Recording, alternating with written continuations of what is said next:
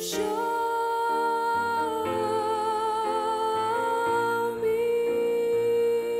just ask the Lord, Lord, show me your heart. Show